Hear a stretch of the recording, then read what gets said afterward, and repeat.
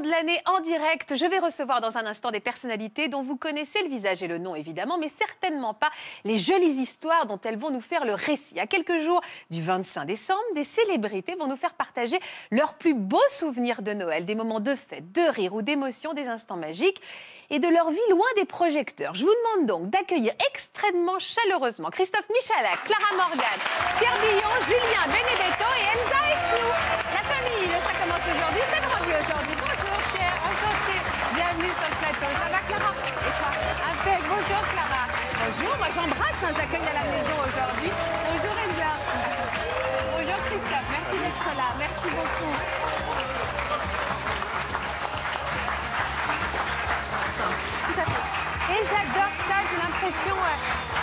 Voilà, c'est refait le briefing pour choses.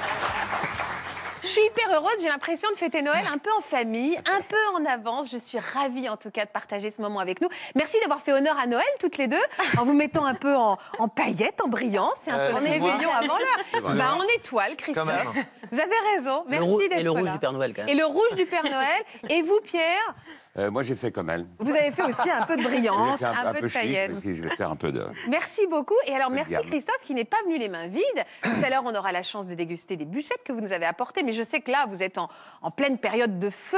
Euh, alors, qu'est-ce que vous nous avez apporté, Christophe Écoute, c'est des supports de table. En général, à Noël, tu mets tout ça sur la table. Ouais. Alors, si tu viens chez moi et tu mets ça sur la table, moi je le mange avant l'entrée, ça c'est pas bien. D'accord. Mais on a un Père Noël, on a des sapins façon rose et sable et un sapin façon mendiant. Et ça se mange.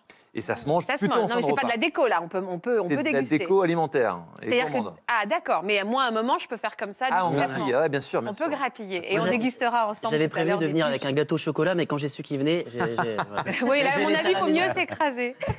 Je vous présente aujourd'hui celui qui va nous accompagner et qui vient aussi avec sa bonne humeur de Noël et qui est un personnage de Noël à lui tout seul, Laurent Carilla, qui est psychiatre. Et qui va aussi nous expliquer pourquoi c'est un moment important, Noël, qui réveille beaucoup de choses en nous. Il y a beaucoup de choses qui se jouent à Noël, dans nos familles, mais aussi dans ces souvenirs qui, qui reviennent. Vous êtes venu avec une photo, vous d'ailleurs aussi, qui nous parle de Noël, De mon sapin. de votre sapin Ouais. Mais oui, parce que, ah bah il est beau, votre sapin. Vous voyez, il y a mon tableau de Bob Marley derrière. Parce que il faut savoir que je vais vous inviter tous justement à nous envoyer, on est en direct aujourd'hui, des photos de vos sapins, de vos décos de Noël. Je sais que c'est une période qui est très chère à votre cœur. Et ben on fait un peu une battle de sapins. Alors n'hésitez pas à nous envoyer. Le hashtag c'est CCA. Vous pouvez nous envoyer sur Twitter, sur Instagram, sur Facebook et on diffusera tout au long de l'émission des photos de vos sapins les plus originaux aussi, des plus improbables ou des, ceux dont vous êtes le plus fier parce qu'on sait que c'est important. Pierre, vous faites des sapins? Vous avez fait votre Bien sapin? sûr, bah, évidemment. Est-ce que tout le monde a fait son sapin? Oui, Mais grave. bah, c'est un moment extrêmement. Est-ce que vous êtes dans le genre à le faire euh, fin octobre? Ou est-ce que vous attendez la dernière semaine pour que les épines soient encore nickel le jour J? Début décembre, c'est plutôt bien. Pas mal début décembre. Ouais, moi, j'ai tendance à le faire avant aussi. Pour, euh, j'en profite comme ça. On m'a dit que à Noël, il, il est un peu mort, non? Il est un peu. Non, non, pas le mien. ça va? non, pas le mien, non, non. Vous n'avez pas de cheminée On m'a dit que vous en faisiez deux. On m'a dit que vous en faisiez deux, vous sapin Pierre. J'en fais un à la campagne et un à Paris, tout à fait. Ah ça c'est plutôt. Ah ça c'est un, ça c'est un vrai luxe. Euh, quoi. Ça, c'est le Et alors, est-ce que chaque année, vous investissez dans des décorations différentes euh, pour Euh, pouvoir faire un sapin bleu une année, un sapin vert une autre année Non, non, je suis resté dans le vert. Je suis resté dans le sapin assez traditionnel. Je suis resté Un dans bon sapin. dans- ouais, exactement. Moi, ma femme a un budget limité, hein, en général. euh. C'est-à-dire, vous, la, vous, la, vous essayez de la limiter Ah, mais chaque sinon année, elle part à chaque en- fois, je lui dis tiens, on a tout ce qu'il faut pendant au moins 10 ans, donc euh, on va à la cave et puis toi, mais non, chaque année, il y a Ah, un bah, truc. Ouais. Ah, moi, je suis comme elle, je Et suis comme votre femme. Ça fait plaisir de réinvestir truc dans de des fou. trucs chaque année. Faustine, tu as mon, mon sapin en photo ou pas Il y Alors, tient. bah, on va passer tout à l'heure. sapin. sapin. Ça, c'est ma femme, c'est pas moi. Je demande en régie si on a le sapin de Christophe. Parce que moi, les épines est ne tombent pas, elles sont déjà tombées, tu vois. Ah Il est moderne. Ah, C'est marrant, c'est un parti pris. original. C'est un sapin hivernal. Ouais, ouais, mais... Il est magnifique. Réutilisable. Et est-ce qu'il se mange C'est lumineux. Et comment tu fais, pardon C'est c'est un vrai sapin à la base? Non. Absolument, un, sa- énorme. sap- Ah oui. un sapin, un chapin. Un chapin. Un chapin. Un chapin chapon. Oui, euh, c'est le sapin illuminé, design, c'est euh, voilà, qui est. Alors là, c'est Un peu design. partie. euh, C'est un vrai mais il est, vrai plutôt- il est- il est vraiment sympa et très, très joli.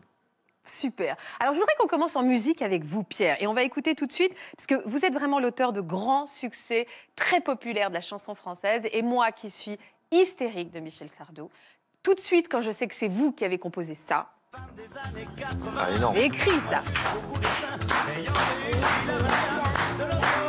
Bah moi, ça me donne envie de danser avec vous. Ah, elle est belle cette photo, hein. Et pas seulement, encore une autre chanson de Michel Sardou dont vous êtes l'auteur, Pierre. Ah, j'adore. Oh là là. Ah, magnifique. hein. Gros succès, du coup, euh, ces derniers temps. Ah, Ah, bravo. Ces derniers temps, il y a eu- vous Ah avez ouais, en- ouais, ouais. renouvelé le succès. Bien sûr. depuis le film, en plus. Oui. Vous êtes aussi Ouais, le bravo. fils de la chanteuse Patachou, le filleul de Georges Brassens. Oui. Vous étiez prédestiné à faire ce métier, Pierre. Ah oui, je suis tombé dedans. Ouais. Attendez, c'est le sûr. fils de Patachou pas eu le choix. Ah oui, oui, bien sûr. Non, mais- C'est le de la fils de même Patachou, famille. mais on est fait pour s'entendre, nous. Hein. C'est moi. C'est bien, moi avec oui, c'est maman. vrai, Patachou.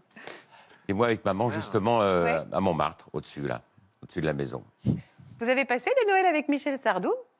Plusieurs, bien sûr, plusieurs. On a fait des, des Noëls amusants avec Michel. On a fait, des, on a fait un, un- un Noël très très amusant qui était à, à Mégève. On était partis à Mégève. On commençait, Michel commençait à très très bien marcher. Et on était tous partis à Mégève et il était toujours très généreux avec ses amis. D'ailleurs, lui marchait très bien. Du coup, euh, nous- Tout le monde marchait très bien derrière. Nous, on avait des très bons gâteaux. Voilà, en gros. Et euh, on était partis à Mégève et on a fait, on a fait un, un- un Noël là-bas. Et puis après, Michel a voulu aller faire un tour en ville. Et puis, euh, Michel peut-être, avait-il bu un peu trop de eggnog, une chose comme ça. Et euh, dans une boîte de nuit, on a, s'est pris à une, à une bande de, de jeunes qui étaient un peu éméchés également. Et on a, donc on a pris une toise. Donc c'est ce qu'on appelle euh, Joyeux Noël. Donc tous rentrés avec un pif comme ça. Donc celle-là, elle était drôle. Voilà. Quel Noël avec- souvenir vous gardez des Noëls de votre enfance, Pierre? Oh, le beau souvenir, c'est avec mon père et ma mère, oui. C'est avec mon père et ma mère à, à, à Montmartre. Euh, maman avait encore le, le cabaret en dessous. Et puis, comme, comme tous les enfants, tu te couches tôt le soir. euh, avec la musique, puisque moi j'étais juste au-dessus du cabaret, j'entendais de la musique sans arrêt. Et puis au petit matin, tu te lèves pour aller, pour aller voir les cadeaux, le- la chose traditionnelle, voir si le Père Noël est tombé, est passé. Et là, il y avait, un, il y avait une très très belle euh, voiture à- en fer, tu sais, voiture à, pédale Ouais, en fer, pédale, ouais. et une guitare. Et maman s'était blessée en, apportant la, voiture, je m'en souviens, s'était blessée à la cuisse. Et la guitare, c'était Georges Brassens qui me l'avait offerte. Voilà. Donc c'était des. Vous l'avez et C'était très tendre parce que après mes parents ont- sont, sont séparés bien évidemment. Et après j'avais deux Noëls. C'est intéressant pour les cadeaux, mais voilà. Moi, c'est intéressant. Donc après j'ai Euh, continué les Noëls. C'est une période particulière pour vous, Noël, puisque euh, ça a été aussi la disparition d'un de vos grands, grands amis, c'est Johnny Hallyday. Oui, tout à fait. Vous en parlez beaucoup aujourd'hui, puisque vous publiez un livre euh, qui retrace euh, votre amitié avec lui. Et vous êtes l'auteur d'un de ses immenses succès. On peut l'écouter? À force de laisser la sueur brûler mes yeux. Ouais. Ah ouais, il y a du lourd. Christophe, il dit il y a du très très lourd. De crier mon amour jusqu'aux cieux. On, on a eu envie de... Ah oui, bah on, on va jusqu'au refrain, j'ai pas envie de m'empêcher. J'ai pas envie de me frustrer. C'est votre style de musique, Laurent. Oui, tout à fait. Vous chantez, Christophe Très très Il mal. est dans le refrain. Attention. Merci. Et Laurent J'ai oublié de vivre. Vivre. Bah c'est ça Noël aussi. C'est vrai. Chanter en famille. Ouais, c'est vrai, vous avez raison, Faustine. On a eu envie de retracer euh, vos 40 ans d'amitié avec euh, l'idole des jeunes grâce à quelques Merci, ça me fait photos. très plaisir d'entendre ça. C'est vrai? plaisir. Oui, Ça vous fait toujours une fait. émotion? Fait, ça me fait très plaisir. Ben, J'espère que ça va vous faire plaisir également de regarder ces images justement qui parlent de cette amitié si forte que vous aviez avec euh, Johnny Hallyday. Regardez. Après avoir travaillé de nombreuses années avec son ami d'enfance Michel Sardou, Pierre Villon rejoint l'équipe de Johnny Hallyday. En 1977, en écrivant pour lui J'ai oublié de vivre, il lui offre l'un de ses plus grands tubes qui se vend à plus de 500 000 exemplaires. Les deux hommes deviennent inséparables et d'amis, ils deviennent collaborateurs à temps complet. Pierre est son directeur artistique, son réalisateur et son producteur jusqu'en 1984. Durant leurs 40 ans d'amitié, il lui écrit plus de 30 chansons et réalise 12 albums.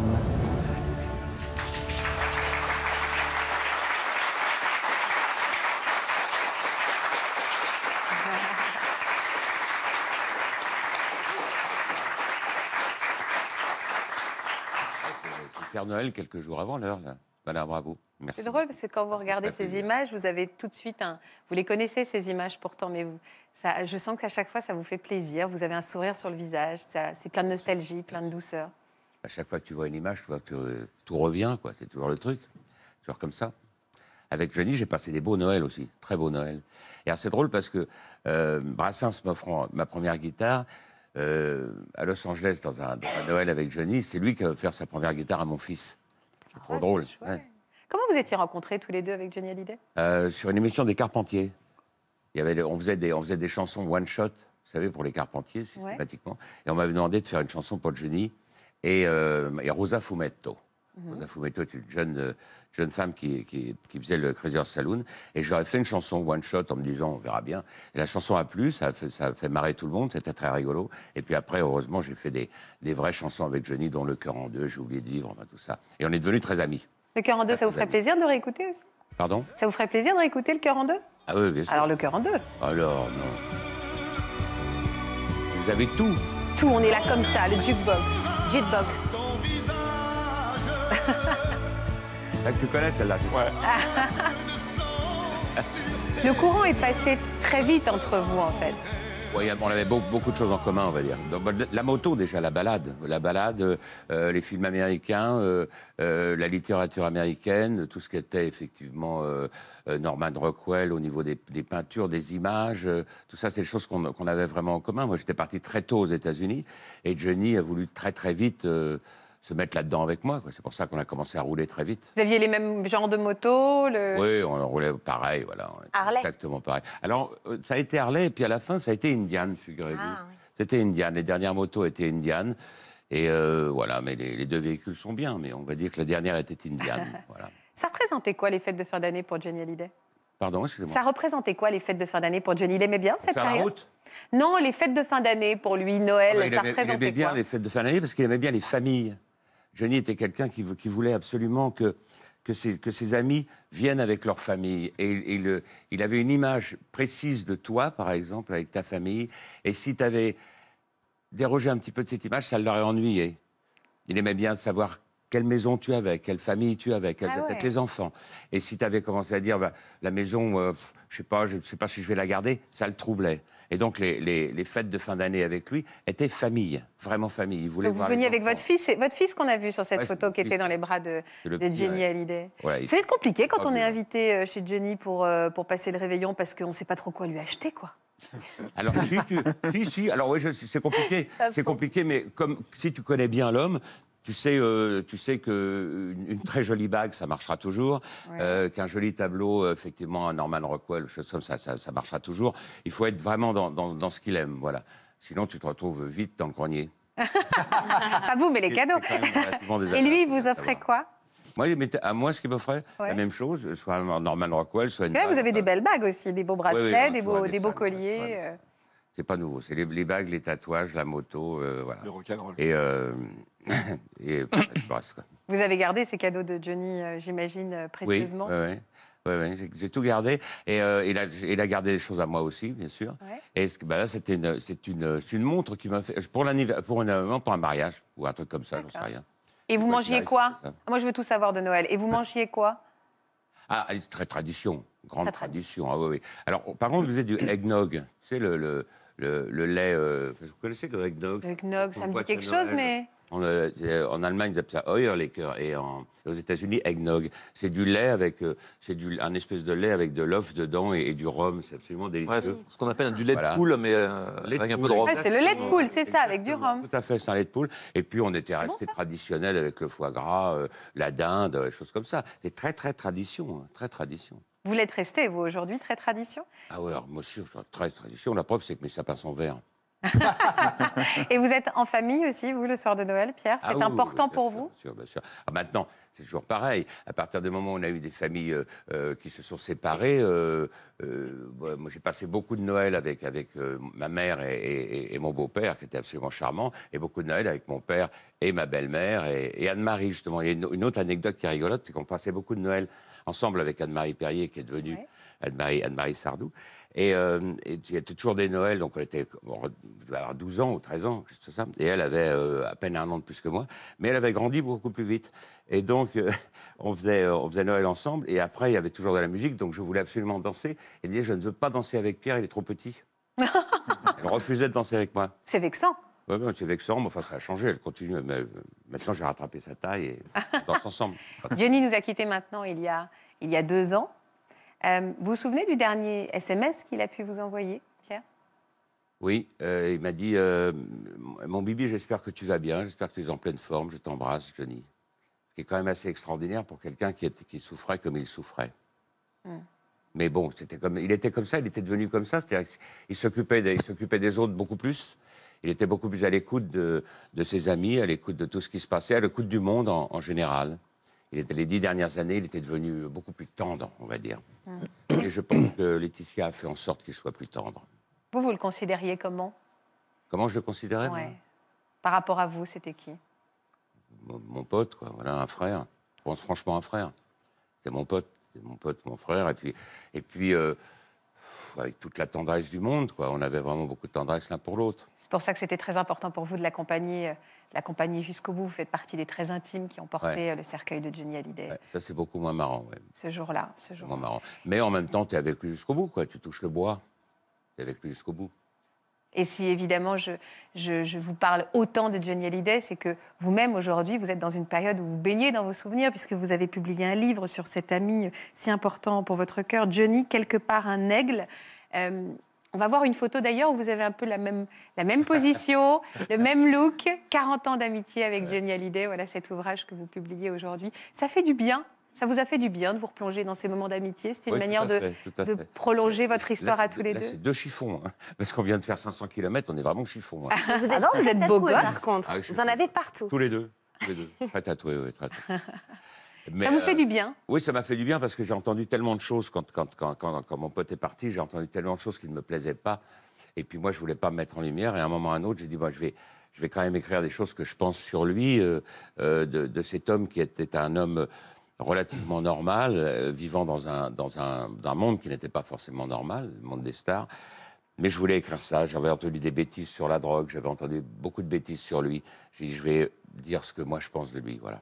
Et remettre les points sur les i. Et ça m'a fait du bien de, revenir. Ça m'a fait, oui, bien sûr, ça m'a fait un bien fou de revenir sur, ça, sur ma vie, sur, les moments merveilleux que j'ai passés avec Sardou, avec, euh, je sais pas, avec Sinatra, avec Liza Minnelli, avec tous ces gens-là. Le- la période de Noël est, une- est un moment où on est vraiment connecté avec nos, nos, Ouais. nos vraies émotions, avec le. On est quand même- il y a moins de phare, on est plus dans l'authenticité. Pourquoi? Parce que ça, ça nous rappelle le petit enfant qu'on était et qui ça, était ouais. émerveillé devant En la fait, il y a une empreinte mnésique, il y a une empreinte du circuit de la mémoire et de la- de l'apprentissage des choses euh, sympas qu'on qu'on a depuis qu'on est petit. Et euh, cette période-là est plutôt festive, avec des cadeaux, avec euh, quelque chose de, de plutôt apaisé, de familial. Et en fait, c'est ce qu'on appelle le renforcement positif. C'est ça- c'est une période qui nous fait très, très plaisir. Donc, dans notre cerveau, il y a un message qui dit tout ce qui te fait plaisir, tu vas le recommencer à des périodes données. Donc, on apprend qu'à cette période-là, ça va être un moment super plaisant et on va se sentir bien, a priori. on va Donc se c'est une période bien. pour se réconcilier, C'est une période pour faire la paix. Ouais, c'est une période d'apaisement. Même Pour avec les arrêter grèves. les grèves. Ouais, tout, tout. Il faut s'apaiser. S'apaiser, se dire que maintenant, il va y avoir quelque chose de positif, d'émotionnellement fort en nous. Et euh, on va retrouver justement ces, ces- ces sentiments de petit enfant, en fait. Vous avez publié un, un autre livre sur Johnny Hallyday. euh, Tout à fait. Alors, Celui-là, c'est c'est plus un, c'est un livre sur, sur les road trips, sur tous ces voyages qu'on a faits, et que pour expliquer que Johnny était un homme simple en voyage, totalement simple. Ce n'était pas des voyages de quatre étoiles, et il voulait absolument euh, euh, être sur, effectivement sur, le, sur la route des, euh, des raisins de la colère, parce que tu ne fais, pas la route des raisins de la colère quand tu vas dans les quatre étoiles. Tu le fais quand tu vas dans les petits motels et quand tu vas dans les petits restaurants extrêmement simples et quand tu traînes dans les stations-service. Donc c'est ce bouquin-là que je voulais écrire en disant les gars, vous pouvez très bien faire cette route, c'est une route merveilleuse et vous allez vous régaler à le faire et vous n'êtes pas forcé d'être milliardaire pour le faire. C'était ça.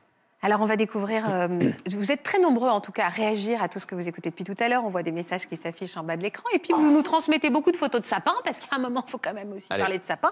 Donc, je voudrais qu'on découvre les sapins, notamment celui de Marion. Chez nous, dès le 25 novembre, voilà un joli petit sapin, hyper efficace. beau, hein Mais en effet, dès le 25 novembre, c'était important. Avec certaines décos faites maison, bonne fête de fin d'année à tous, nous dit Liline. Ça, c'est chouette. Les décos qu'on fait maison avec les enfants, ça, c'est un vrai moment de partage.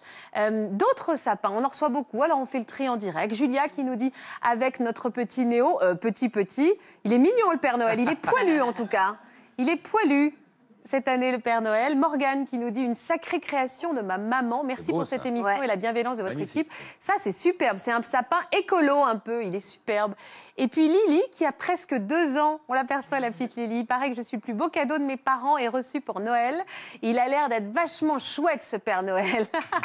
ah, c'est joli, ce petit message.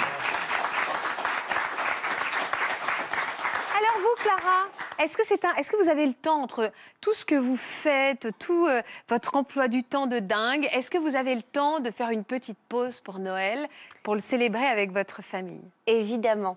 Euh, pour moi, c'est un moment euh, familial très important. Je vois euh, ma mère, mon père, même s'ils sont séparés, Ouais. on se retrouve tous à Noël. Ah, c'est super, vos parents Oui. se retrouvent le soir Oui, de Noël. Ça, c'est un bien. privilège. Ouais, ils se sont séparés à un moment, ils s'entendent très bien. Il y a ma sœur et son fils euh, de 10 ans qui s'appelle Terry. Il y a aussi souvent la maman de mon mari, ma petite fille de 4 ans.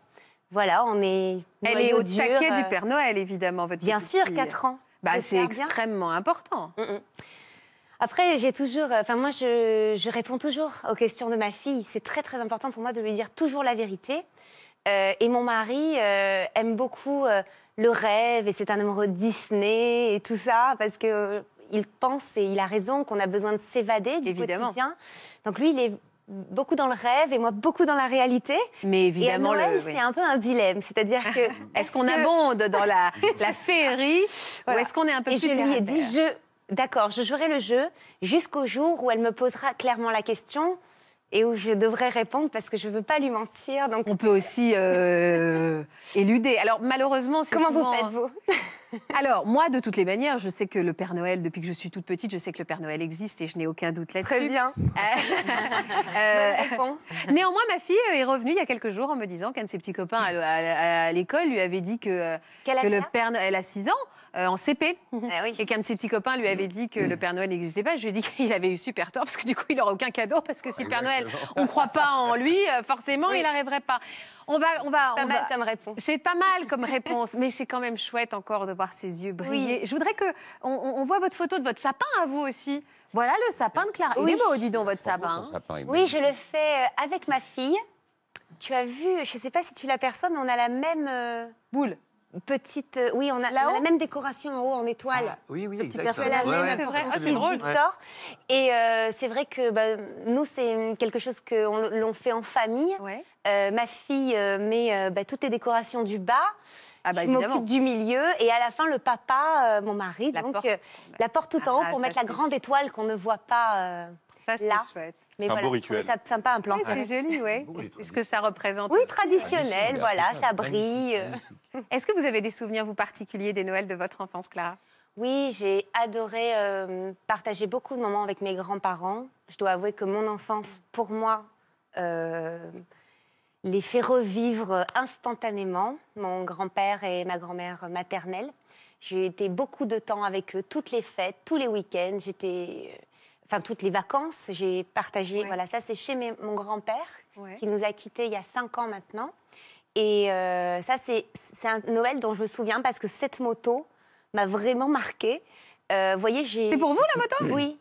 Ah ouais, on était très loin de la poupée. Hein. Oui, alors, ils ont tenté, vous voyez. Il y a Ah oui, il y avait quand même une poupée à Mais dont je n'ai absolument aucun souvenir. Et qu'est-ce que vous Et- chantiez là? Qu'est-ce que tu chantais? Oh là là, je ne sais pas. Alors, c'était sûrement Petit All Papa I Noël. C'était sûrement for Petit Papa Noël. Elle n'existait pas, celle de... Ouais, c'était plutôt Tino Rossi.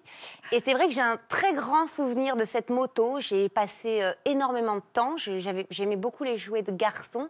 Et la poupée, alors vraiment, je ne, pouvais, je ne pourrais même pas vous dire si je lui ai donné un nom.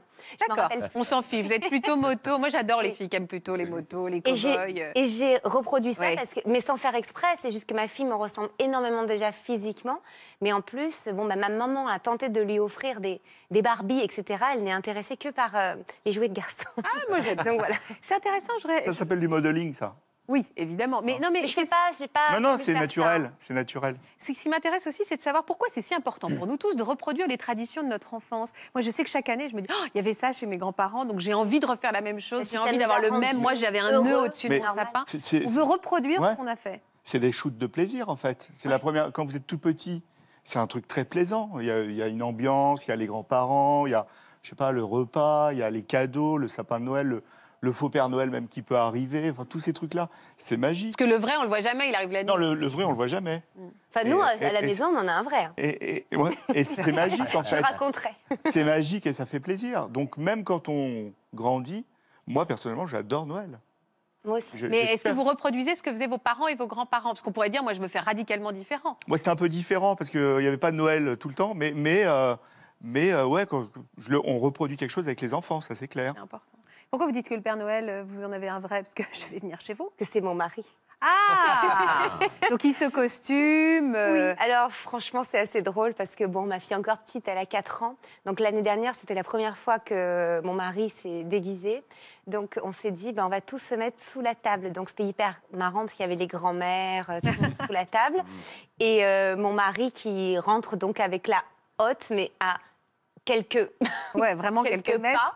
Et ma fille qui pense qu'évidemment on n'entend pas, qui, qui rit, qui a peur et blottit euh, dans mes bras. Et mon mari qui fait les allers-retours pour déposer les cadeaux. Euh, je pense qu'on va le refaire parce que c'était hyper drôle, euh, même pour nous. Qu'est-ce que vous mangez, vous, le soir de Noël? C'est quoi votre tradition? Alors, euh, nous, on a essayé de diminuer considérablement la viande cette année. Euh, pas le poisson. Donc, on va faire un, un repas à base de poisson. On Ah, c'est achète des. Bon, je suis née à Marseille, hein, donc euh, il y a quand même ça dans le sang. Euh, mais euh, on va faire un, un menu euh, pesco-végétarien, du coup. Pesco, peu- végétarien, Ouais, d'accord. C'est comme ça qu'on dit. et C'est une alimentation à base de poisson. D'accord. Euh, mais c'est super bon. Ok, non, du j'aime bien, j'aime bien l'idée. Tous les fruits de mer, Bah oui, euh, les gambas. Et qui cuisine? C'est vous ou moi. votre... Ah, oui, j'adore cuisiner. Et votre maman, elle vous aide pas un peu? Beaucoup, énormément. Alors, en général, je m'occupe du plat. Là, ça va être les poissons au four. Donc, Ouais. je pense même que ça va les faire au barbecue parce qu'il y en a trop, là. 12 poissons. Oui, puis il fait bon Au dans le four, sud en ce moment. compliqué. Pourquoi pas barbe- un barbecue de Noël bientôt, on va faire hein? En fait, on va faire des poissons individuels avec des tiens de légumes. Et ma mère va préparer toutes les petites euh, verrines d'entrée. Mais on- fait beaucoup. Mais alors, est-ce qu'on est d'accord que quand on cuisine comme ça du matin jusqu'au soir, est-ce que, et Christophe nous en parlera tout à l'heure, est-ce qu'on n'est pas les premiers à piquer un peu du nez le soir du 24 Est-ce que celui qui Non, je ne reçoit... vais pas vous mentir, je ne cuisine pas toute la journée. Ah, d'accord, toujours des, des, des petits arrangements avec le timing. Et si vous voulez, par exemple, voilà, là, on a décidé de faire du poisson. Je pense que mon mari va s'occuper du barbecue et moi, je vais faire le tir de légumes. Bon, ça prend pas une journée. Ah, d'accord, ok. Attendez, il y a un Parce que non, mais j'ai On en a remarqué... pas hein. parlé, mais qui est primordial.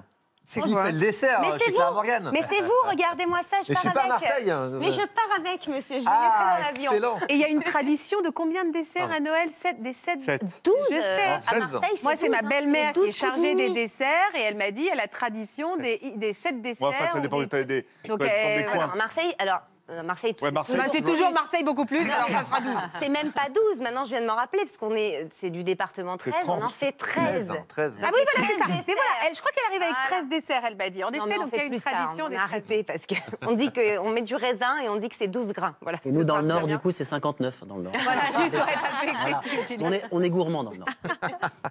Est-ce que vous allez sortir un, un calendrier 2020 Parce qu'on l'attend, le calendrier de Mais vous plaisantez, il est partout. Il est partout. Ah Non, mais je vous pose la question. Non, bien sûr, je plaisante. En fait, cette année, euh, donc ça sera, je crois, le 18e. Je suis pas exactement sûre parce qu'en fait, j'ai pas vraiment envie de compter. Mais je crois que c'est le 17-18e. Et j'avais envie de marquer euh, un peu euh, le fait que ce soit 2020, c'est un chiffre rond. J'avais moi-même envie de me renouveler parce que les châteaux, la lingerie, tout ça, j'ai beaucoup fait. Et donc, je suis partie à Tokyo. Euh, J'avais euh, euh, découvert le pays du Japon il y a deux ans. Je suis littéralement tombée amoureuse de ce pays. Je n'y habiterai pas parce qu'ils sont un peu l'inverse de moi, c'est qu'ils sont très rigoristes, très sérieux. Mais moi, ça- je trouve ça incroyable leur façon de vivre, même si ça ne me Ouais. correspond pas tout à fait. J'ai adoré. Et j'ai rencontré un maître du shibari, Mhm. qui est l'art de l'at- l'attachement. En fait, Euh, ici, on appelle ça le bondage. Ah, on a tendance à avoir une mauvaise image. Bondage, de- Christophe. de Il connaît, il se marre derrière. Ben oui, il est spécialiste, Christophe. elle va réagir, T'inquiète, je suis là. J'ai tous les, tous les synonymes. Non, mais Non, bien en- fait, ça passe, hein, le bondage. Ouais. Non, en fait, C'est une autre France, on émission. Pas une très bonne image, parce qu'on a l'impression que c'est un peu de la soumission avec euh, des femmes attachées, etc. En réalité, là-bas, c'est un véritable art. ouais. Le fait même d'attacher euh, euh, la nourriture, euh, des objets et des, des- des humains. Et véritablement, il y a, l'art de nouer. C'est incroyable, c'est une vraie découverte. Et j'ai eu envie de mettre cet art en avant parce qu'on a tendance à le dévaloriser ici. Ici. Et je trouvais que c'était une vraie nouveauté. Et donc, euh, la couverture que vous avez mon- montrée, ça s'appelle le wall. Et en fait, ça prend à peu près toute la pièce. C'est une structure qui s'accroche au sol et au plafond et dans laquelle vous entrez littéralement. Ça prend 5-6 heures, la création. Ah, de rentrer dans la. Et en fait, Ah oui, dès que vous avez terminé l'œuvre, il la défait. En fait, c'est de l'art Ah. euh, euh, C'est un gâteau hein, qu'on effeuille après, c'est Exactement. ça, Non, mais c'est vraiment, c'est vraiment incroyable. Et vous faites- envie de montrer ça. Et vous faites du cabaret aussi maintenant, une fois Exactement, par mois C'est ce soir. Ce soir Nous serons au César Palace, Ouais. dans le 15e arrondissement de Paris. J'ai cette grande chance d'être entourée d'artistes de talent, humoristes, chanteuses à voix, effeuilleuses burlesques, pole danseuses, beaucoup de danseurs. Et voilà, c'était mon rêve de me produire sur scène, Ah, d'être entourée d'artistes parce que je suis une passionnée de, de la scène et des artistes. Et j'ai eu la chance de pouvoir tous les mettre autour de moi pour créer un gros show quand même. Alors, c'est pas un énorme show, mais c'est quand même Un gros show. un beau show. Et on est en, en résidence euh, mensuelle au César Palace. Au dans le. Et donc c'est ce 15e. soir. Voilà, si vous êtes à Paris, ce c'est ce soir. Top, Je suis très heureuse d'être sur scène. En fait, c'est un peu quand vous me disiez que vous habitiez au-dessus d'un cabaret. Je me suis dit que finalement, euh, ce serait euh, un Idéal rêve pour moi de pouvoir faire ça à ma fille. C'est-à-dire, c'est tellement inspirant ensuite Bien pour sûr. la création. Bien Ça inspire toute une vie. Et je pense que oui, votre créativité vous vient de cette époque, j'imagine. En fait, si tu es au-dessus de la cabaret, t'entends que la batterie, donc ta fille Ah. sera batteuse. Ou bassiste. Alors, pas Christophe, je ne demande pas si vous allez voir Clara ce soir parce que vous devez être crevé. Hélas, non. Comment ça Why not? Mais, Mais non, mais vous devez être fatigué. date, 25 Vous allez y aller. 24 Pierre, il, va. Pierre, venir. Pierre, il va venir. Eh ben, je vous Ah, bah voilà. Christophe, vous, en revanche, en ce moment, vous êtes crevé, donc il faut dormir. Ah. Non, mais Eh parce oui. qu'on rigole, on rigole, mais, mais la période de Noël pour un pâtissier de renom comme vous, un des plus grands pâtissiers français, c'est la période où c'est le rush absolu, quoi. Ouais. En fait, on- je pense que le commun des mortels ne se rend pas compte. Euh, on a l'impression, tu sais, on a été éduqué, notre génération, à aller dans les grandes surfaces et puis tout est. On achète ce qu'on veut, on met dans son caddie et point barre. Sauf que la pâtisserie, c'est pas du tout ça. Le gâteau, il se fait un peu en amont, mais euh, une bûche, ça a 24 heures, 48 heures de DLC. Donc, c'est vraiment. euh, De quoi, pardon? De, de date limite de conservation. En fait, consommation. quand Donc- tu achètes une bûche, il faut, la faut consommer tout de suite, quoi. voire, Faut voire le lendemain. pas- ouais. Voilà. Et, et tout ça, ça demande un travail euh, hein. On ne sauve pas des vies, on fait que des gâteaux, mais c'est un énorme travail. Et tout le monde se réveille au dernier moment à Noël. Et c'est vrai que, bon, bah, je ne sais pas, mais en règle générale, on est sur 2-3 000 bûches euh, qui doivent Ah sortir là. en très peu de temps.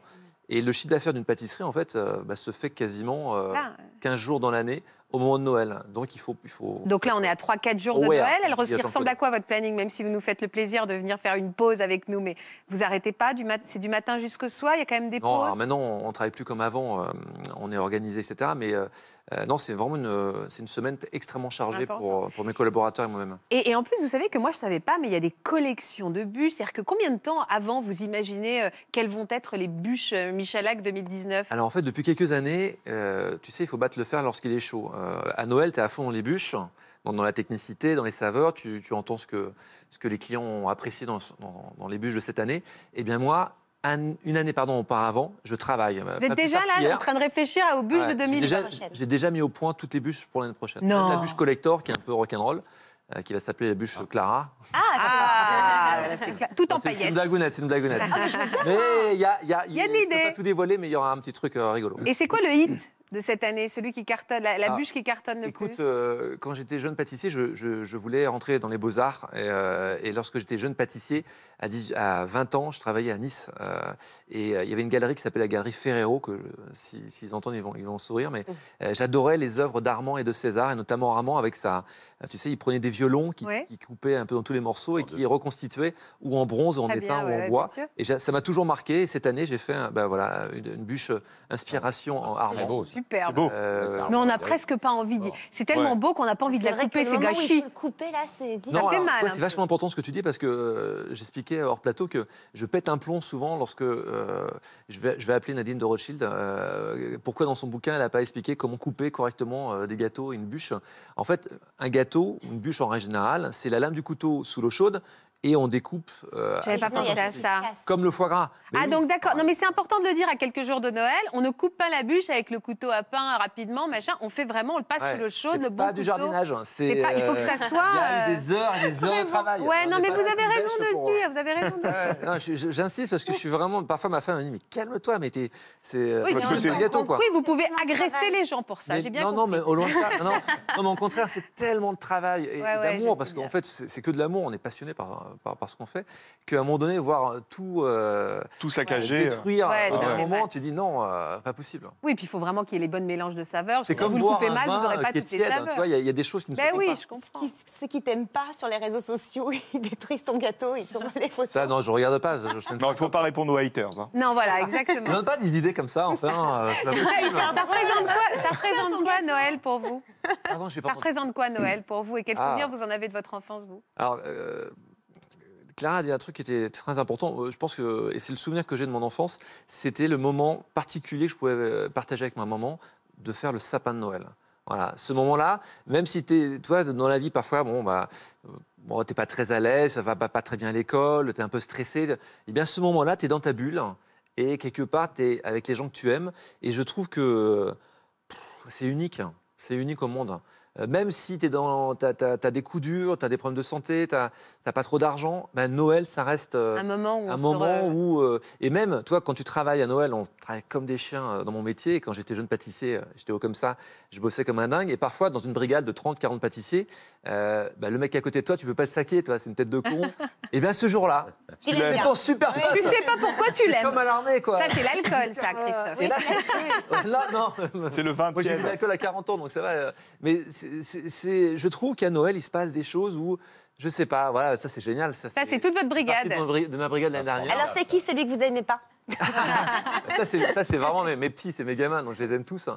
Mais, et c'est le, le- le petit déjeuner. Après la fournée des bûches, on se fait un petit déjeuner. Ah, ça, c'est chouette. Il y a même un Euh, accordéoniste, je vois. Ouais, ouais, ouais, c'est c'est un, un jeune apprenti chez nous qui, qui joue tous les ans. Il vient avec son accordéon et il nous joue euh, euh, des musiques incroyables. Enfin, là, moi, Et vous avez un petit garçon aujourd'hui, Victor, qui est à fond dans la magie de Noël. Il a 5 Ouais. ans. Il n'est pas tout seul dans sa tête, comme, comme dit ma femme. Il est, euh, et comme dit ma femme très bien, elle va faire, je lui fais un petit clin d'œil parce qu'à chaque fois, elle me fait des petits trucs en douce. Delphine, Euh, qu'on chaque fois, elle embrasse. dit Ah, mais c'est vrai que, en fait, euh, mon mari ne vous l'a pas dit, il a fait son, son fils, il a fait tout seul. C'est que euh, à chaque fois, je dis Ah, il me ressemble quand même, mon fils. il est mignon, il est gentil. Il dit Ah, ouais, non, mais il l'a fait tout seul et il ne vient pas de moi. Votre, votre femme, elle n'a pas de chance parce qu'elle est née le 23 décembre, quand même. Et ouais, ma femme. elle a- Alors là, chaque femme, année, elle passe à l'as, quoi. Ma femme, elle est. Elle a double cadeau, c'est- non c'est- c'est ma Est-ce qu'elle a double cadeau? Il a raison, Laurent. Et c'est, c'est, c'est- alors, Ah, voilà, on a très peu de temps, malheureusement. Bien, je pourrais, pas- je pourrais vous expliquer beaucoup de choses, mais c'est vrai que le 23 décembre, c'est la pire journée pour un pâtissier. Et euh, je, te, je te donne, euh, je te raconte un peu ma life, mais euh, l'année dernière, Delphine me dit bon, ok, j'ai compris que le 23, euh, c'est, c'est un peu chaud parce que on- limite, on s'endormait le soir à- au restaurant toi, tellement Ouais. on est, on est vidé. Et elle me dit ok, fêtons-le le 15 décembre.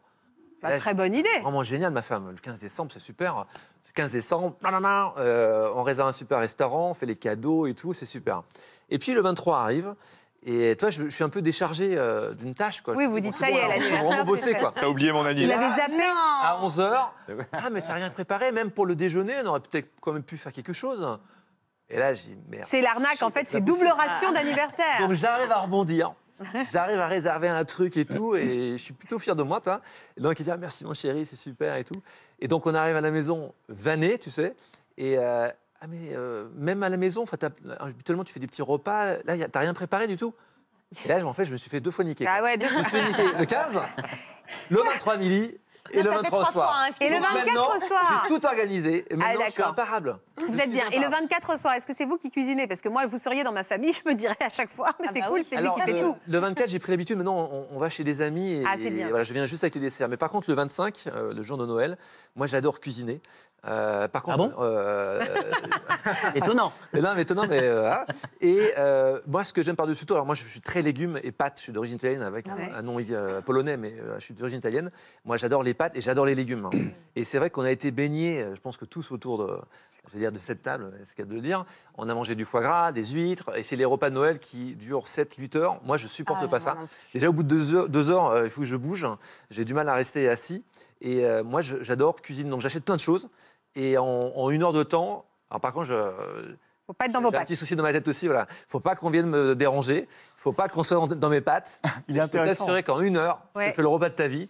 Par contre, voilà, il faut que. Vous avez un que psy les ou pas, hein Ne savent pas faire deux Parce choses à que je vous présente Laurent Vous qui a très envie de hein. s'occuper de vous. Ah, tu vois. ouais. Mais par contre, euh, il est très sympa, ça donne envie vraiment de passer. Non, parce qu'il y a plein de monde dans sa tête, quand même, hein. concentré et les hommes ne savent pas faire deux choses à la fois, c'est pas une légende. Ça, c'est vrai. Donc, si tu me parles et si tu me dis, tiens, qu'est-ce que tu as fait demain, nanana, je ne peux pas t'expliquer. Je suis en train de créer, de, de- de travailler. Mais par contre, je te promets qu'au bout d'une heure, Là, tu, là, régaler. tu dégustes. Ouais, tu vas ramasser cher. Voilà, mais- vous nous avez apporté une recette, une petite idée de recette. Là, comme ça, tac, tac? Non, vous nous avez, on me dit que vous nous aviez apporté une petite idée de recette. Ah bon? Non? C'est pas ça. vrai? J'ai plein de. Bah si, c'est ça. Bah alors, c'est quoi, de mon ça? dernier bouquin. En fait, quand j'étais môme, j'adorais. La les- pâtisserie en famille. J'adorais les shurikens, ou qu'on on peut appeler aussi shaken. C'est les. Euh, J'étais fan de. Sankukai, hein, ceux qui sont nés dans les années Oui. 70, 13 Ouais. euh, vont penser à moi. Bon, moi, je les petites, euh, tu sais, c'est les petites Étoiles euh, que tu jettes, euh, voilà. Ah oui, la- Les étoiles. J'ai de coupé en carton.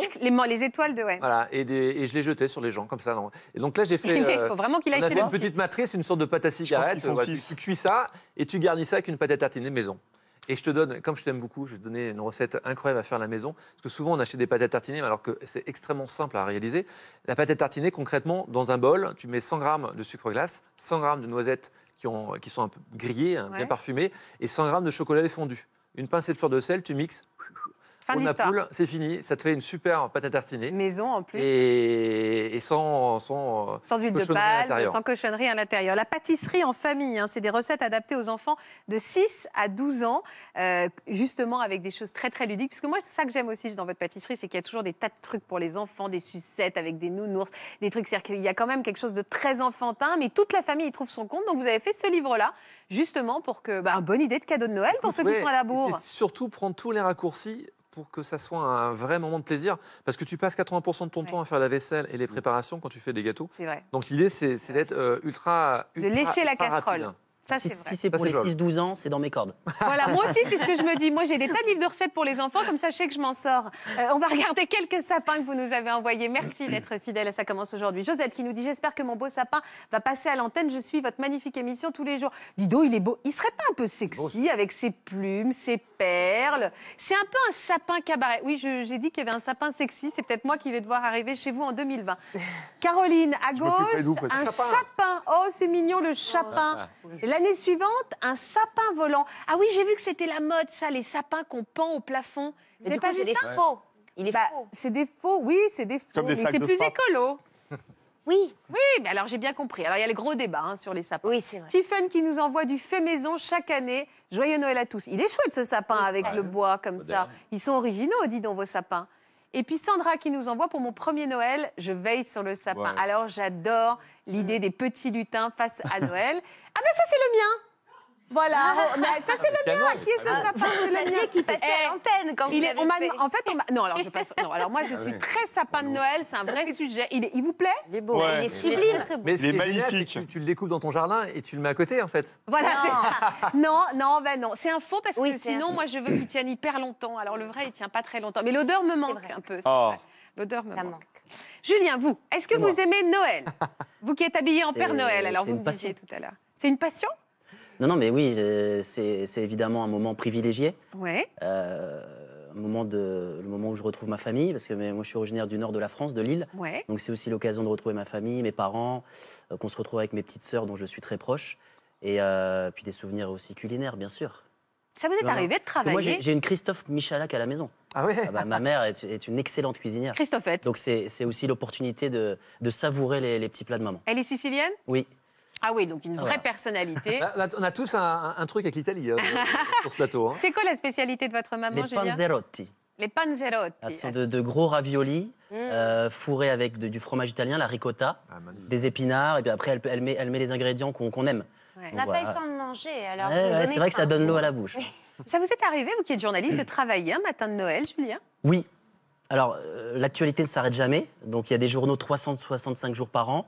Ouais. Euh, moi, j'ai présenté les journaux euh, quasiment tous les jours fériés qui sont dans le calendrier, dont Noël, le jour de Noël, le jour de l'an aussi, Ouais. ce qui donne évidemment euh, quelques petits souvenirs un petit peu croustillants. Il y a une ambiance particulière Oui, il y a- voilà, on est plus détendu, c'est plus cool. On sait qu'on peut s'autoriser quelques petites blagues avec les téléspectateurs, quand l'actualité le permet, bien sûr. Bah, bien sûr, Mais euh, en général, c'est un petit peu plus, euh, un petit peu plus léger. On, on présente des sujets aussi un petit peu plus légers, donc euh, c'est agréable. Cette année, vous ne serez pas à l'antenne le soir de Noël? Non. Le matin de Noël, pardon. Mais le jour de l'an. Ah, le jour de Ouais. l'an. Ah, ça, Comment vous faites alors? Donc le 31, vous le le faites fêtez comme- pas, vous vous, vous couchez tôt. Le 31, alors je... il y a deux options. Soit je me couche très tôt, mais c'est un peu triste. Ah, c'est triste. Euh, Soit je me couche pas. Je me couche pas du tout. Alors ça, je l'ai fait déjà, mais il faut pas le dire. c'est- Je sais pas si mon pa- le patron écoute. Euh, soit je fais un, euh, la première partie du dîner, raisonnable. À minuit, je, je- je- à minuit pour le Vous nouvel an, je fais la bise et après je, après je file. Et après, vous vous Excellent. éclipsez. Mais ouais. j'ai quelques souvenirs un petit peu, un petit peu croustillants, effectivement, d'un- d'un réveillon de Noël euh, euh, que j'avais passé euh, exceptionnellement avec mes amis à Paris parce que le lendemain, je présentais le journal. ouais. Et j'étais arrivé donc à 4 heures du matin, comme d'habitude, le 25, dans un état euh, sympathique. et donc, euh, au maquillage, euh, la maquilleuse qui a besoin d'être très proche de mon visage, n'est-ce pas, pour travailler, m'avait dit Dis-moi, Julien, euh, c'était sympa le, le champagne euh, cette, cette nuit. Voilà, donc euh, j'étais, je peux le dire maintenant, c'est un secret. J'ai présenté le journal en étant un petit peu. Un pompette. un petit Bon, peu- un petit peu- heureusement un que petit l'actualité était plus Mais bon, légère. personne nous regarde. Non, personne. ça, Ah, bah, voilà. Non, Ça mais je sais nous. pas Entre si nous. personne, je sais pas si personne vous regarde le matin. Est-ce qu'on regarde, est-ce qu'on regarde des informations le 1er janvier? Bah oui. C'est là qu'il regarde le journal. Ceux qui se couchent pas. On a quelques images en tout cas d'un matin de, De vous Noël où vous êtes retrouvés, ouais, de vous bourrer justement. D'un matin de Noël où vous êtes retrouvés euh, à l'antenne avec Thierry Beccaro qui présentait Télématin à l'époque. Vous faites les journaux dans adore Télématin. Voilà, je m'associe à toute la rédaction pour souhaiter aux téléspectateurs, ainsi qu'à vous, Thierry, un gentil. joyeux Noël. Est-ce que vous avez pensé à, à me faire un petit cadeau? Alors spontanément Ah, vous comme vous y ça, là, attendez là. pas, ça, hein? Non, voilà. Merci. Voilà. Parce que je sais que parfois vous n'êtes pas assez La générosité de Thierry Beccaro, mesdames et messieurs. à la maison. Donc allez-y, vous frottez, ça fera Ah, plaisir. ah, il y a à- un- y, y a message. Il y a un message. D'accord. Ok. Bon. Merci beaucoup. Et, et- et Allez, je vous embrasse. Joyeux Noël. Joyeux Noël, Madame Musquin. C'est sympa l'éponge. Je tiens à préciser que, contrairement à ce que laisse penser l'image, j'étais bien majeur à l'époque. Ouais, j'allais te dire, t'as t'as 14 ans. hein. T'as pris un petit coup de- Oui, mais c'est la barbe, ça me, ça me vieillit un petit Mais ça va très bien aux hommes, euh, le côté grisonnant. Mais venant de vous, bien. Clara, ça me fait particulièrement c'est- plaisir ce compliment. Ça vous va bien, ça vous va bien. Christophe, si tu pouvais passer en face, je pense qu'ils aimeraient peut-être se parler un peu plus. regardez, on va s'échanger. Est-ce que ça vous est arrivé d'avoir. de- Vous souvenez, on se souvient tous d'un très, un horrible cadeau qu'on a pu recevoir à Noël? Parce que là, vous a- il vous a quand même offert une éponge, parce qu'on n'insiste pas, mais c'est sympa comme cadeau, une éponge pour Noël. Est-ce que vous n'avez pas le souvenir d'un cadeau un peu pourri qu'on a pu vous faire à Noël? Le problème, c'est que. Vous voulez pas dénoncer celui qui l'a fait Tu vas blesser oui, des gens. non, mais je peux le dire, oui, effectivement, je me souviens euh, d'un d'un cadeau qui m'avait euh, pas particulièrement plu. C'était un vêtement, je crois. Et, euh, et là, énorme numéro d'Actor Studio. Ah bah évidemment. Ah, Là, là c'est c'est fantastique. Là, Là, là, tu travailles un peu ton, ton talent Ouais. de comédien. Voilà. Il y a toujours un Mais petit malaise au moment où on ouvre un cadeau où la personne est tombée complètement à côté. Euh, c'est vrai qu'il y a toujours ce petit moment de flottement. Et, et après, il y a l'acteur studio de qu'est-ce que c'est gentil? On m'avait a- offert une balance une année. Je Oh, pas, c'est je l'avais pas hyper ça. bien pris. Mais il y a quelque chose qu'on n'a pas encore dit, qui est, je trouve, vraiment magique dans, dans Noël, c'est que le, le plaisir d'offrir, en fait, c'est fantastique. Sûr, Moi, ça me fait presque plus plaisir, en fait, d'offrir et de voir, en fait, le, le, le- regard euh, des, des- des- de ma famille qui, qui aime ce cadeau. Ou voilà. le jeu d'acteur. Voilà, ou le jeu d'acteur, ouais. Euh, que, que, de, que de recevoir des, des- des cadeaux. Est-ce que vous avez fini votre, vos cadeaux, Julien? Euh, alors moi, je suis, euh, c'est toujours à la dernière minute. Ouais, toujours à la dernière minute. Mais donc je vais, non, je vais, je vais, je vais faire ça dans les prochains jours. hein. Et en plus, alors faire hein. ces Bah oui, les cadeaux. prochains jours, il reste plus grand. reste Puis c'est sympa le dernier week-end avant ouais, Noël dans bah, les c'est- bah, magasins. c'est- bien. cadeaux, en plus, en ce moment. Hein. faire ces, oui, Ouais. faire ces cadeaux, effectivement, euh, euh, juste avant Noël, c'est un, c'est un peu, c'est un peu compliqué, mais bon, Vous allez partir à Lille alors fêter Noël? Ouais. C'est un, c'est un rituel. Je vais à Lille. euh, donc En voiture, donc. En fait, là, là, là, là, attends, on peut refaire la prise parce que t'as l'impression que c'était super malheureux. T'allais pleurer là. non, mais je vais à Lille. attention, à ce- attention à ce que tu dis sur les gens du Nord. Qui sont J'adore Il y a le- j'adore cette ville et j'adore plus- les gens du Nord. C'est des gens Il y a le plus beau marché de Noël là-bas. Un des plus beaux marchés de Noël. Mais vous savez ce qu'on dit du Nord? Le Nord n'attire pas, mais retient. Vous avez Ah, raison. ouais. Vous avez parfaitement raison. L'occasion de, retrouver mes parents que je vois assez rarement dans l'année, euh, puisqu'ils sont à Lille et que je vis à Paris. Et puis voilà, euh, le repas de, Noël, c'est une tradition. Je me souviens, alors pour, euh, pour les souvenirs d'enfance, c'est vrai que moi je me souviens du rituel aussi de la décoration du sapin quand j'étais enfant et adolescent. Euh, aller chercher euh, le- le- le- les, guirlandes et les boules de Noël qui étaient dans un carton dans le grenier avec mes petites sœurs, voilà, et puis faire ce, faire ce, faire ce, petit, euh, ce petit moment ensemble. C'était toujours chouette. Qui sera autour de la table le soir de Noël? Vous êtes Euh, nombreux? Oui, donc mes parents, ma grand-mère, mes petites sœurs, leurs fiancés, et puis mes nièces, puisque ma, ma, ma sœur a deux nièces. Et vous mettez la main à la pâte ou vous mettez les pieds sous la table? Je regarde Ceci dit de façon très ma mère cuisiner, ce qui est un, un spectacle Ah, formidable. j'imagine, ouais. Elle s'appelle comment votre sœur Elle- qui a des enfants? Alors ma petite sœur Mélanie, D'accord. qui a deux, deux, deux petites filles euh, fantastiques, Lou et Mathilde. Alors certains membres de votre famille ont eu envie de vous faire une petite surprise aujourd'hui? Mais ouais, Ah bon. mais on est comme ça. Regardez derrière moi. Salut mon frérot, en direct du salon de la maison familiale et à côté du beau sapin. Euh, sapin que tu n'as toujours pas mis chez toi. Donc euh, prends-en de la graine parce que maman elle assure niveau déco. Je t'attends de pied ferme le 24 pour manger tous les escargots. Je sais que c'est ton petit péché mignon et euh, je pourrais pas les manger toute seule même si je suis gourmande. Donc euh, voilà, t'es un grand frère extraordinaire et euh, voilà, je te love. Bisous Joyeux Noël, tonton Julien. Attention de ne pas manger trop de chocolat.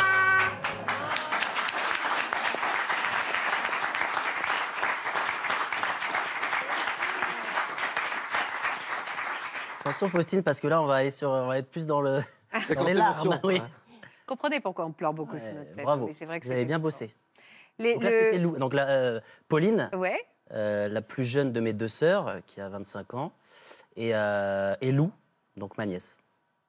Est-ce que c'est quoi ces escargots que vous aimez tant alors? C'est des escargots en chocolat? Non, non les, les Ah, les vrais escargots. escargots Avec de l'ail et du persil. Ouais, les vrais escargots. Ah, quoi. donc Mais c'est- ça- chez vous, c'est- c'est- ça sera c'est escargot. Dans le repas de Noël, les escargots, enfin en tout cas chez nous. Bah, Ça dépend. Pas chez Non, moi. des mais- régions. Ah bon ouais. Et moi, j'ai un souvenir En de- Bourgogne, oui, visiblement. des- D'escargots. J'avais fait un concours de, de mangeage d'escargots avec un de mes cousins. On était arrivé à un chiffre astronomique. Et évidemment, ce qui devait arriver arriva. Ah J'étais malade. Je raconte pas la malade. suite. Après, on perd la face. Non, hein. ça va, c'est sympa, c'est sympa. Les escargots le soir de Noël, non, moi je ne savais pas. J'avais entendu régions. parler des fruits de mer, du chapon, Ouais, euh, évidemment le foie gras, le saumon, mais. euh, Ouais. Ça dépend des régions. région. Puis en Bourgogne, voilà, les escargots Ouais, de Bourgogne, voilà. Vous mangez quoi, vous, le soir de Noël, Elsa? Vous dégustez quoi? Ben là, je pense que. Alors, comme je mange pas de viande, ce sera euh, du poisson. voilà. Pesco végétarien, Euh, c'est comme ça qu'on dit Pesco végétarien. Voilà, exact. Et puis, euh, bon, après, euh, je vous avouerai que je sais pas encore euh, ce qui. Pourquoi c'est pas chez vraiment- Si, non, enfin, chez moi, ce sera en famille. Ouais. Après, euh, bon, c'est pas moi qui vais cuisiner. Donc, euh, je, ce sera la surprise. Voilà. D'accord, mais c'est en- mais c'est chez, chez vos parents, chez les. Oui, ce sera euh, chez mes parents. Et puis, il y aura euh, ma sœur, euh, cousin, cousine, leurs enfants. Euh, voilà. Vous aimez ça, cette période de Noël, vous? J'adore. Franchement, je trouve que c'est un, un moment où effectivement, ben, on se réunit tous. Parfois, quand on ne peut pas forcément voir euh, certains membres de notre famille, bah, là, pour le coup, comme euh, mon cousin, ma cousine, je ne les vois pas beaucoup. Et, et du coup, bah, voir leur, leurs enfants grandir aussi, c'est sympa.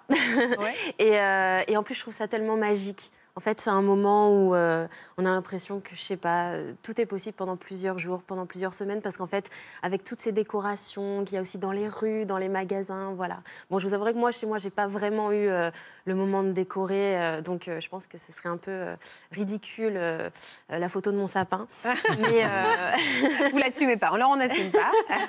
bah, en plus, il est, il est tout petit, donc c'est un que je ressors chaque année. Voilà. Ah bah tout petit, voilà, hein, mais non, il est mignon, attendez. Attendez, on s'en fiche de la taille.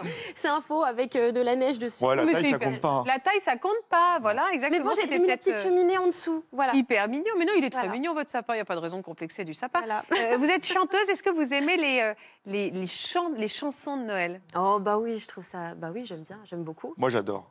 Ah bah, bah dis donc, oui, mais vous, vous aimez le heavy metal, alors je mais justement, le- j'aime euh, le heavy metal qui chante les chansons de Noël. il y a des versions. Hein C'est-à-dire, vous en avez une, vous avez une version en tête? Il n'a pas sa guitare. Bon, j'ai pas ma guitare et mon micro, mais ouais, les chansons classiques. Moi, on m'a dit que vous aimez bien Maria Carré. Ah, Parce qu'à un moment, ouais. un- en fait, chaque année, on se dit qu'on n'en peut plus de cette chanson. Ouais. Et en même temps, chaque année, on se dit c'est trop Ah non, triste si on l'écoute pas. Donc, c'est cadeau, vous allez avoir dans la tête toute l'après-midi. Et participer à, C'est bien ça. à son énorme succès financier. Ah ouais. C'est énorme. Et ça, c'est Love Actually. euh, Ah bah oui c'était-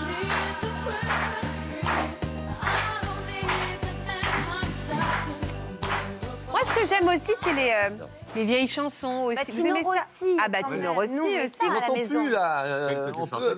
possible, s'il vous plaît. Mais, hein, Vous pouvez passer. Euh, Tino Rossi, je vais demander à ce qu'en régie on nous trouve Tino Rossi. Et vous aimez quoi comme autre chanson de Noël? Mais moi, c'est vraiment les, les chansons effectivement américaines. Je les trouve très joyeuses en fait.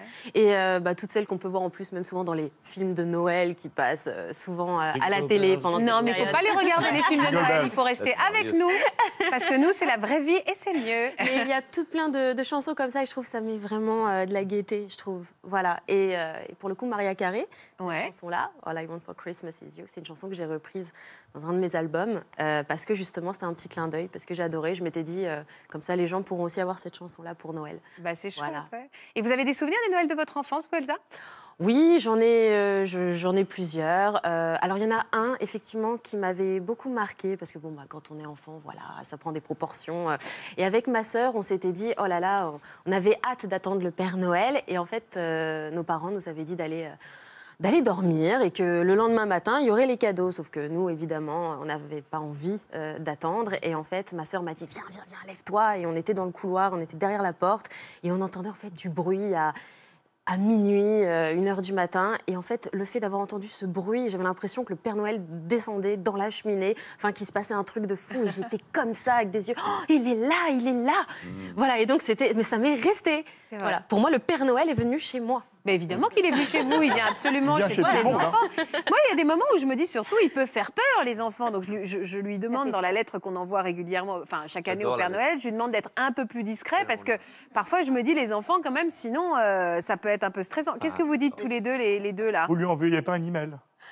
Non, je lui envoie une lettre et il répond chaque année. Quand vous envoyez papier. une lettre, ah ben, non mais vous n'avez, non mais vous le savez ça, Clara, si vous envoyez évidemment une lettre au Père Noël, Alors, vous mettez Pôle Nord, Exactement. Laponie et vous recevez dans la une- boîte aux lettres. directement dans la boîte aux lettres et vous ressentez une- et vous recevez une réponse. Il y a un truc magique, moi je peux vous donner un- une petite astuce que j'ai fait pour mon fiston pour euh, enlever la, ce qu'on appelle la tétille, la tétine. Ah là là, Ah là, ah, mais j'ai pas on lui avait dit, tu sais, euh, Ouais. le Père Noël, là, peut-être cette année, il- si tu lui donnes ta tétine, il y aura beaucoup, beaucoup, beaucoup de, De beaucoup de cadeaux. cadeaux euh, Ouais. sous le sapin. J'ai pas osé. Et donc, je ne sais pas pourquoi, ça. tu sais, à force de le répéter, c'est. Et on est dans un grand magasin, il y a un faux Père Noël. Mon fils ne regarde pas la télé, donc je peux, je peux en parler. Et donc, il le voit, et puis ça a été vraiment mais, spontané. Il a été le voir. Et hop, Ah, il lui a il donné, il est revenu, il dit bon, comme ça j'aurai beaucoup de cadeaux et tout. Et là, avec ma femme, on était mais sur les fesses, on a dit putain, c'est incroyable. Ah ouais, bonne Une heure technique. plus tard à la maison, Bah, bien sûr. Ouais. Bah oui. Et est-ce que du coup, il l'a reprise après, la tétine? Ah ben non, non, non. Après, Il on a dit bah non, c'est le Père Non. Noël et tout. Et on s'est dit, on est vraiment les enfoirés comme parents parce qu'on pourrait quand même lui filer sa tétine. T'apprends ça vite en tant que parent, ne jamais revenir en arrière. Ah, exactement. Vraiment, il faut tenir. Non mais dans le sud, il y a, je crois qu'il y a un endroit avec la vraie maison du Père Noël où il y a un arbre à Ça, tétine. c'est en Laponie. C'est en Laponie évidemment, et c'est évidemment, vous avez raison, en Laponie, et on peut mettre en effet le- les tétines. Il y a donc un gros arbre de Noël et on invite les enfants à laisser leurs tétines. Non, parce que pour le coup, c'est- drôle parce que euh, du coup, ça m'a, là, ça m'a fait tilt. Parce que moi, quand j'étais petite, le seul moyen de me faire enlever la tétine, c'est que moi, on m'avait promis un chien. Ah Et j'ai eu mon chien. Il, il s'y attendait pas. Il pensait pas que j'allais la lâcher. Mais comme on m'a dit un chien, donc c'est pour ça que du coup, là, j'ai Ah, fait le lien sur Ah, pas des mal. cadeaux. les- Est-ce que vous avez des souvenirs, vous Elsa, particuliers de Noël, de votre enfance?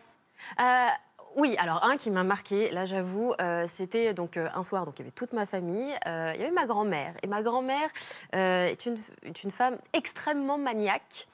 Et du coup, elle avait besoin de faire de l'ordre et elle a jeté tous mes cadeaux. Mais sans s'en rendre compte, elle pensait que, bah, en fait, tout ce qui était dans les boîtes. Elle a viré tout. Ah, l'angoisse absolue. ah oui, donc c'est le traumatisme de Noël. Peu. traumatisme, là, oui, oui, là, je Et confirme. ça vous est arrivé, vous de travailler, vous êtes comédienne dans les mystères de l'amour. Est-ce que ça vous est arrivé de tourner le soir de Noël ou de tourner dans les jours à venir? Alors, les jours pas, le soir même, mais c'est vrai qu'on va dire deux jours avant, on avait fait un tournage, euh, effectivement, parce que euh, euh, on, on aime bien faire des, des épisodes euh, comme ça, spéciaux euh, Noël. Et en fait, euh, on avait tourné euh, tous ensemble et on était, mais alors c'était très drôle, parce qu'en plus, euh, la, la styliste, Magda, nous avait euh, mis des pulls, mais alors vraiment euh, moches. quoi, avec Oui, le, le, cerf. Mais oui, j'ai Ouais. vu. Il y en a pas qui en ont aujourd'hui. Non, tout à l'heure, il y avait des. Ah, il y a un pull. Non, il n'y a pas de pull de. Noël aujourd'hui. Il y en a, il y en a en régie. Et, et- et Il y a, il y a Pauline, la réalisatrice, qui a un très beau truc. Oui, euh, Pauline, oui, faudrait qu'on la qui est en régie. si elle peut venir pour la voir. Et en effet, on salue, on salue parce qu'elle assume. Moi, j'en ai un qui clignote aussi. Je trouve ça Ah super, c'est vrai les pulls de Noël. C'est Ça, il y a vachement du sympa, mal. les Ah pulls de c'est Noël. À une époque, c'était un peu ringard et maintenant, c'est devenu à la mode. Bah, et, du coup, on avait eu tous des fous rires là-dessus. Et puis, euh, et puis d'ailleurs, d'ailleurs, j'avais eu le droit à chanter un, un duo avec Hélène Rollès. Ça, ça m'a marqué aussi. Ah oui. Ah, ça, c'est chouette. Hélène et les garçons. Oui, ça c'est tout à fait. Avec tout le, le groupe. Excellent. Voilà. Vous venez de sortir votre quatrième album, Elsa, et vous êtes sur les routes de France pour une tournée qui va s'achever euh, euh, au Zénith de Paris. Ça sera le 20 juin 2020. Euh, pas de concert le 25 décembre? Non, mais Parlez-nous un peu de cet retrouver. album. J'ai hâte de retrouver le public en janvier. Ouais. Vraiment. Vrai que vous avez un public très fidèle, vous êtes très très populaire. Euh, Parlez-nous juste un petit mot de cet album, justement. Qui a été... Il est sorti quand cet album? Alors, c'est un, album, un album qui est sorti fin août. Ouais. Donc, euh, en fait, dans, dans celui-là, donc effectivement, comme c'est le quatrième, j'ai voulu euh, rajouter une petite pointe d'électro sur certains titres. Ouais. J'avais envie qu'on sente un peu cette évolution-là aussi, mais tout en gardant la base et le noyau euh, bah, qu'on aime aussi. Toujours voilà, des, des chansons d'amour, mais également d'autres thèmes. Il y a euh, euh, Androgyne, qui est un peu plus original. On a aussi euh, Dans le miroir. Et ça, c'est une chanson aussi que j'ai écrite, parce que du coup, on, on me laisse la possibilité d'apporter mes, mes propres chansons. Donc ça, c'est, je, je suis très reconnaissante là-dessus. Et Dans le miroir, c'est une chanson pour les gens qui se sentent mal dans leur peau. Et, et voilà, aussi. Vous avez aussi publié un livre, Et j'ai publié un livre, exactement. Le rêve d'une vie. Voilà. Vous aimez le bleu, hein c'est, une thématique sur vos... Sur Oui, vos... j'aime bien le bleu. J'aime bien, ce- c'est le, le turquoise. J'aime le Ouais, turquoise. Voilà, ce mélange de bleu et vert. Et en fait, euh, effectivement, dans ce livre, ben, je raconte ben, mon parcours euh, et euh, comment j'en suis arrivée là. Ouais. Ça n'a pas été forcément facile, mais en tout cas, que je suis très reconnaissante envers la vie, vraiment. Qu'est-ce qu'on peut vous souhaiter alors à tous pour 2020 Alors on n'y est pas encore. C'est la question piège. Alors vous n'allez pas me dire la paix dans le monde parce qu'on est tous d'accord. Non, beaucoup de Néanmoins- chocolat. Beaucoup de chocolat, Ouais. voilà, c'est ça. On a déjà eu le plus beau cadeau, être invité dans votre émission. C'est ça, Ah voilà. Ah, c'est- on pourra pas faire Moi aussi j'ai un cadeau pour vous. Il est faillot, ce Il Juju. est bien, il est bien. Moi aussi j'ai un cadeau pour vous. Écoutez, Tino Rossi, Ah Ils sont bons à la régie, hein Pauline Surpic, toutes ces équipes. D'ailleurs j'en profite, hein, comme c'est la dernière émission de l'année, en tout cas, de saluer toutes les équipes de Ça commence aujourd'hui. Dieu sait qu'en ce moment, avec les grèves, toutes les équipes de la production, de la régie, les techniciens qui sont là, on est en direct toujours. Je sais que c'est compliqué en ce moment. Ils font un travail formidable sur cette émission, en régie, devant, derrière. Je voulais tous vous embrasser, tous très très fort, puisque le succès de cette émission, c'est avant tout grâce à vous. Voilà, je voulais vous le dire. On a d'autres messages qui arrivent, évidemment, dans le qu'on va découvrir. Euh, Michel et Céleste. Oh, c'est Michel, justement, le chien de Sébastien. On embrasse Sébastien qui est en régie. En fait, tout le monde a mis les photos de ses chiens, de sa famille, de son sapin. On embrasse, évidemment. Je ne bouge pas, il attend les cadeaux, nous dit Céleste. Bien. La magie de Noël, nous dit Anaïs, dans les yeux d'un enfant n'a pas de prix. Depuis 45 ans pendant le Ah oui réveillon, le Père Noël vient déposer ses cadeaux. il a plus de hotte, il a une canne, mais il tient bon le Père Noël. Oh, il est joli, dis donc, ce sapin. Je vous souhaite un merveilleux Noël depuis Tahiti. Très bonne Voici idée. mon sapin tropical, le sapin très exotique. C'est une bonne Ah idée. oui, très bonne très, idée. très, très, Ah, ça, c'est une. Sympa, ouais. Faudrait faire des bûches un peu euh, outre-mer aussi, un petit peu. J'aimerais bien. Mais on fait bûches euh, à la mangue, Rider. mangue goyave. ah oui, bah alors, bah, le- bah, d'accord, m'engueulez pas, d'accord. Christine qui nous dit Moi aussi, Psy Laurent, j'ai un tableau au-dessus de mon sapin. Clin d'œil à mes amis bikers. C'est drôle. Easy Rider. Est-ce qu'on en a encore alors? Lynn qui nous écrit Oh, il est mince ce sapin. Nous avons tous Oh, les yeux là- émerveillés devant le sapin de oui, il a la C'est pendant l'émission. Synonyme d'effet. Vous avez vu? Vous avez vu Michel? Vous êtes juste derrière. Le mien est en hauteur car mes chats ne résistent pas à grimper dessus. Ça, j'a- j'adore quand vous nous envoyez des photos en direct, vous savez, quand elles se regardent entre elles. Il est temps de manger les bûches. Alors, je voudrais qu'on les accueille, ces là, bûches, là. et vous allez nous les présenter, Christophe, ces petites bûchettes.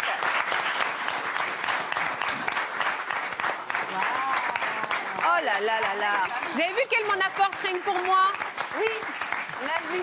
Alors, est-ce qu'on pourrait apporter un... Ah non, il n'y a pas besoin de couteau. Il n'y a pas besoin de couteau parce que moi, vous, cuillère, là, vous me faites un petit peu peur. Alors moi, je vais faire distribution. Est-ce que vous pourriez me dire un mot pendant ce temps-là. Est-ce que vous pourriez me dire un mot pendant ce temps-là sur ces bûches, avec ce, évidemment votre, votre sigle qu'on reconnaît Bah, on va Pardon. faire comme ça. Merci. Oui, merci, c'est gentil. Merci beaucoup. Alors, euh, Et regarde, il est déjà au taquet, là, Laurent. là, on parlait de, de mangue, merci. J'adore. De mangue passion, c'est la jaune. Voilà, Merci, c'est Clara. Mangue, euh, goyave, pardon. Celle-là, c'est Ouais, mangue- absolument. Merci Clara. Oh, bah, j'ai une hôtesse de luxe. Mais je reviendrai ici, hein, c'est pas possible. Vous avez vu, c'est C'est formidable. hein. à Dallas, hein, ouais. donc ça, donc celle-là, c'est ça? Mangue goyave. Ouais. euh, Donc l'exotique. Celle du milieu, plutôt. Voilà. Celle du milieu, c'est chocolat caramel. Mmh. C'est une Ah interprétation d'un gâteau phare chez moi qu'on appelle la tarte Delphine. C'est la tarte Mmh. que La- pour ma femme. J'ai fait une grosse Je sais pas si elle est contente que vous lui aviez donné le nom d'une tarte ou pas j'ai fait maintenant, je, je plaisante. Ah oui. Ma femme, en fait, adore le caramel, le chocolat lait. Ah d'accord. Version, tu t'imagines un peu un Mickey Way, mais sans cochonnerie dedans. Eh bien, euh, on a essayé de réaliser une Mickey Way Mars euh, dans une tarte. Je veux oh là là, moi aussi je veux celui-là. M'en fous. Et- celui-là c'est- quelque chose que j'aime beaucoup. et J'aime euh, mes voyages dans, en Orient. Et je l'ai appelé la pistache orientale. Donc, c'est une pistache d'Iran, un praliné pistache d'Iran, avec de la fleur d'oranger, de l'eau de rose bon, et, et d'amande. Et, Eh ben, on va déguster On va tout ça. Merci infiniment. Je vous, j'enterre- on va, on va pouvoir déguster tout ça. Merci Christophe pour ces cadeaux. Merci à tous de nous avoir accompagnés pour ce bon moment en Noël. Je vous donne rendez-vous le lundi 6 janvier à 13h50 sur France 2. Et puis tous les matins, pendant les vacances, on vous donne des nouvelles de nos invités. Je vous embrasse très fort. Je vous souhaite de très belles fêtes de fin d'année. On vous embrasse. Pour tout ce que vous nous apportez au quotidien. On vous aime tendrement, que vous soyez seul ou en famille. On est là avec vous. Je vous embrasse très fort et puis, et puis mangeons, on fait plaisir, on s'embrasse, on s'aime. Je vous embrasse.